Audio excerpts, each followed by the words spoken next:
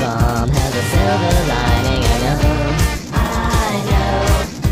It won't be long until everything works out nice in the end. The sun will marry the moon. It'll be fine. Why don't we sit back, mellow again, and have a nice afternoon.